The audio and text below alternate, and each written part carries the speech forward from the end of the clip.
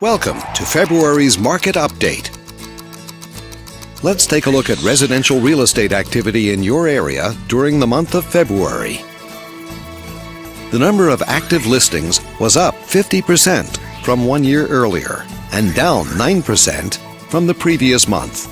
Even so, buyers still enjoy a greater selection of homes today than they did one year ago.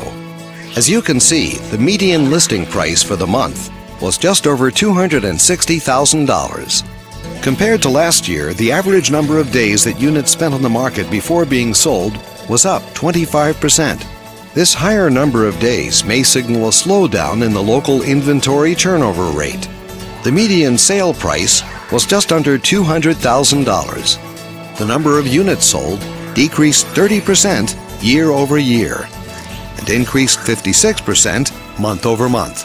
Despite a slight annual decrease, this upward monthly sales trend indicates positive momentum.